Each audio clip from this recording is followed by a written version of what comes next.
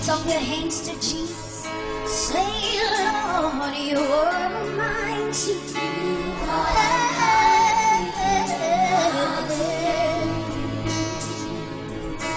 you are mine to others. Oh, you